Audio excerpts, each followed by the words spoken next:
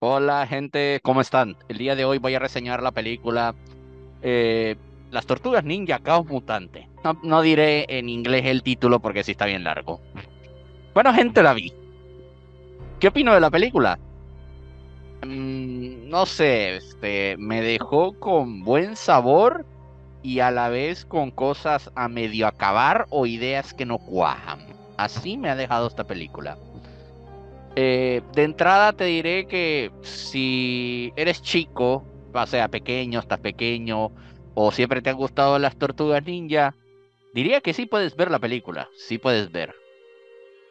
O sea, vale la pena verla, pues, es muy entretenida y es de lo más decente que hemos tenido sobre las tortugas ninja en años, en años, ¿verdad? O sea, la película me ha entretenido, es, es un producto de entretenimiento. Pero esta película no es la película que están diciendo por ahí en internet que supera Disney y supera Pixar. No, hermano. No, hermano. Cuando yo vi El gato con botas, el último deseo, yo sentí cosas. O sea, fue algo precioso. La película es hermosa, ¿sí? Cuando vi Spider-Man, sí, este, la, la, segunda parte, sí, porque esta película bebe de Across the Spider-Verse también.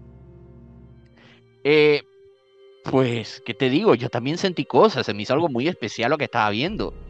Pero en la película Las Tortugas Ninja me entretuvo, me reí un par de veces y ya está. Y cuando una película me hace, no me hace despegar más de esa forma, eh, tenemos un problema. Pongo otro ejemplo. Arcane, ¿se acuerdan de esa serie? ¿No? Una, una obra maestra prácticamente, la serie de Arcane desde el primer capítulo me hizo sentir cosas, como que estaba viendo algo especial, ¿sí? Y su final absolutamente trascendente. Cuando una animación tiene mucha importancia dentro de sus creadores. Una vez más, con las tortugas ninja, Caos Mutante, no sentí nada.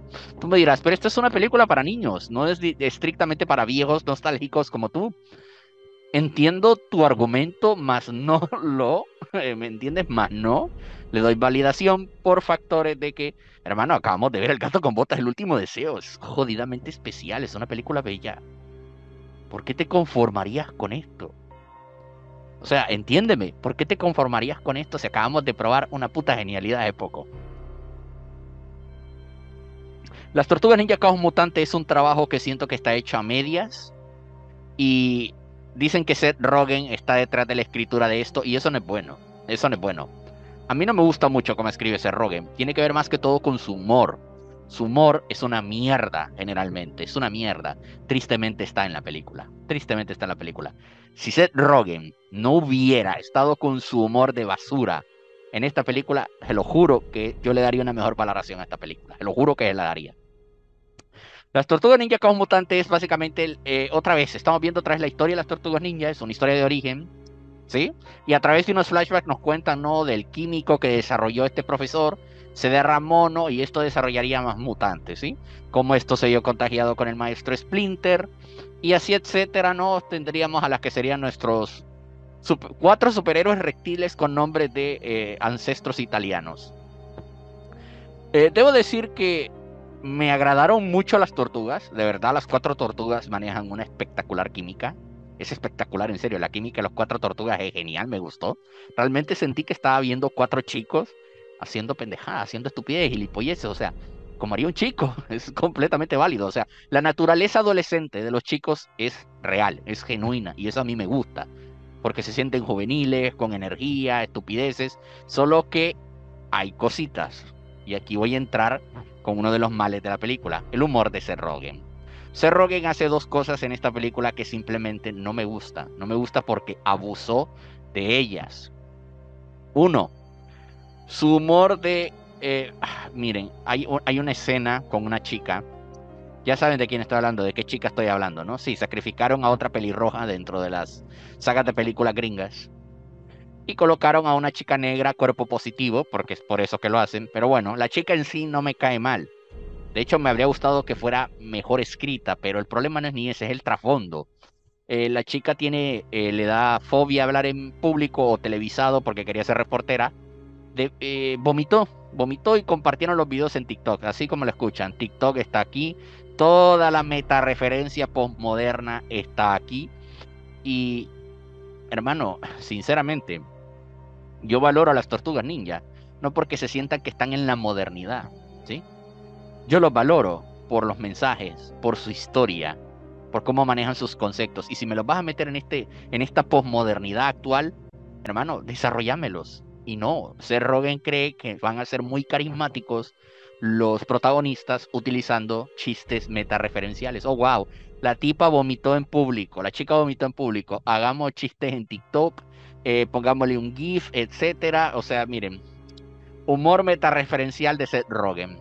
Abusa de esto, o sea, lo van a ver tanto en la película, en tantos diálogos, que yo estaba hasta molesto. Hermano, yo sé que quieres llegar a los niños. Yo sé, los niños usan TikTok, hacen tontería. Lo entiendo, lo entiendo, pero abusas al ridículo. Pero no me hace sentir nada. El gato con botas no necesitó nada de eso, solo necesitó parodiar de forma excelsa y exquisita el mundo de los cuentos y le salió una puta maravilla. No ocupo que me hablen de celulares, de TikTok, de emojis, Ay, ay, ay, humor metareferencial. Uh, mírenme qué moderno es esto. Mira, chavito, mira como lo que andas en tu cel. Siento que esta no es una movida inteligente, sino una movida desesperada por captar audiencia. Una de las tortugas ninja es fan de Attack on Titan, o sea, Shigeki no Kyojin, ¿no? Si saben, es fan de anime. Incluso una de las remeras que usa más adelante en la película, una de sus camisetas, pues, eh, es una referencia a Jojo Bizarre Adventure. Yo que soy fan de Jojo Bizarre Adventure, pero mega fan de esa franquicia de anime, no me emocionó nada ver esta referencia. O sea, está bien, está bonita y ya. Y sospecho que muchos niños, no sé si entenderán esa referencia, pero ahí está. Hay mucha referencia a anime, hablan de Akira en otro momento, pero muy metareferencial, demasiado abusivo, muy abusivo. O sea, esta película es muy excesiva en ese contenido y aburre, aburre. O sea, hermanos, no, no sos sutil, sino que parece que estás desesperado. Estás desesperado por llegar a los... Ay, por favor, que los niños me hagan caso, vean qué cool y postmoderno es esto. Ese toque urbano, ¿no? Ay, Dios, No sé, este, yo sé que las tortugas ninjas se desarrollan en Nueva York, tienen ese toque, pero le dan ese toque postmoderno, urbano, que yo siento que ay, le faltó fuelle a esto, le faltó mejor construirlo más, plantearlo mejor. Miren, gente, la película se esfuerza, pero hace unos esfuerzos gigantescos por quedar bien con los niños. O sea, ay, mira TikTok, ay, mira emojis, jajaja, chistes en videos de YouTube, que se siente tan desesperado, pero es que se siente como que un señor cuarentón, así se siente, que un viejo cuarentón dijo, ah, ¿y qué le gusta a los niños ahora? Ah, le gusta esto. Y lo meten, y lo meten, y lo meten, y lo meten hasta que te hinchan los huevos. Ay, Dios mío, yo. El humor de esta película, la mayoría no me gusta nada. Así lo digo, no me gusta nada. Las tortugas ninja tienen buena química, como ya dije hace rato, está bien. La chica negra, cuerpo positivo, la verdad que ni me va ni me viene porque su trauma a mí no me convence. Tratan el tema de la ansiedad, un tema muy importante. Y su arco de superación, pues a mí no me tocó nada. A mí no me tocó nada el arco de superación de ella. Porque la película va en hora y media entonces, la película dura una hora y media, o sea, es lo más que dura, de hecho. No es tan larga, es una película corta, pero se pierde. Miren, tenemos la historia de origen. Tenemos la historia de la aceptación. Hay una historia de aceptación aquí, que las tortugas quieren ser aceptadas en el mundo moderno. Primero, lo primero, las tortugas deben, ser deben aceptarse a ellas primero.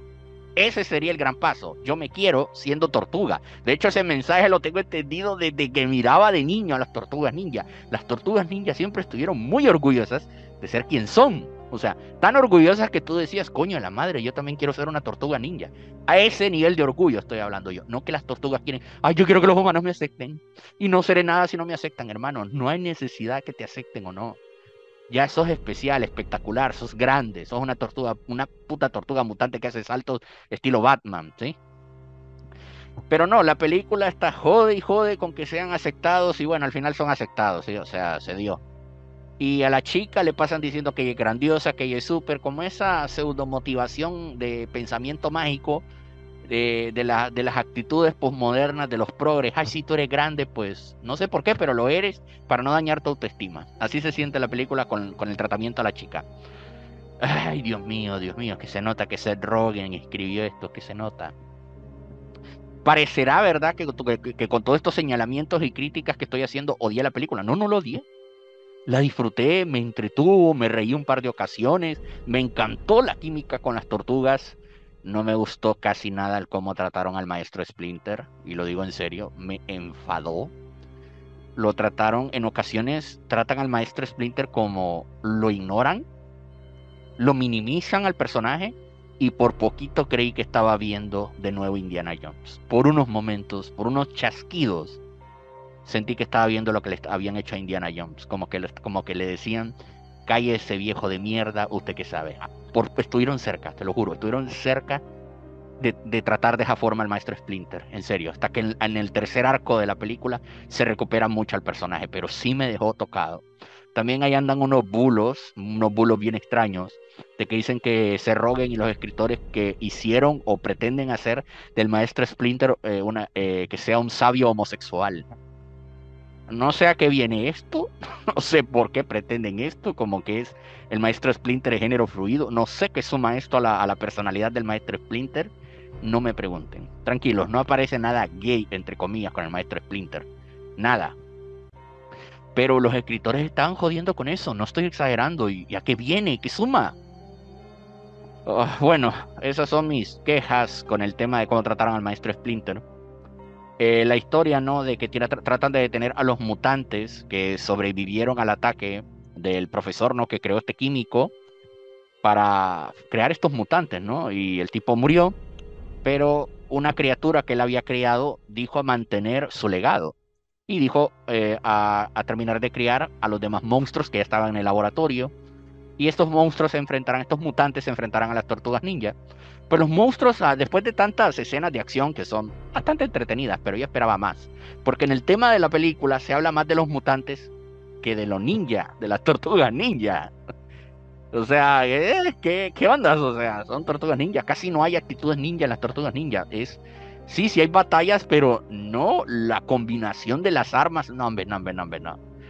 Esta película tiene cosas muy desacertadas ahora que lo estoy pensando más detenidamente.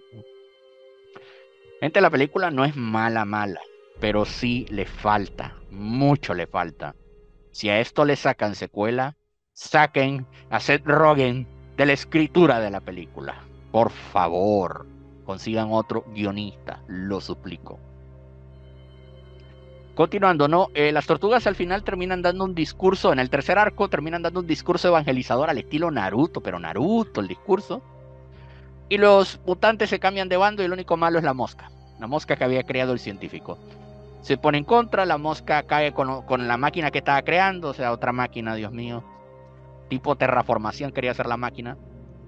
Y se transforma en un kaiju el monstruo. No, no estoy mintiendo. La mosca se transforma en un kaiju. Y otra vez estamos. Yo creí que estaba viendo la escena final del Escuadrón Suicida de James Gunn. No estoy mintiendo esto ya lo vi, dije yo, esto no me suma nada, esto no es algo espectacular, esto no es un gran cierre ni gran villano para las tortugas ninja. Y aquí cierran también el arco de que ah, las tortugas ahora son los mutantes, son vistos como héroes, ya son parte de la ciudad de Nueva York, y, pero todo, o sea, la película hace todo tan disperso en sus dos primeros arcos y en el último arco lo quiere meter a calzador y no importa cómo salga, la idea es que cierre y se acabe y ya no sigamos hablando de esto. Ajá.